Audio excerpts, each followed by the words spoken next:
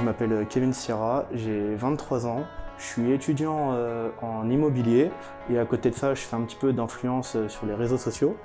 Et du coup, aujourd'hui, je suis venu euh, à la clinique des champs pour faire une intervention qui s'appelle l'autoplastie. Donc, le principe, c'est tout simplement de recoller les oreilles.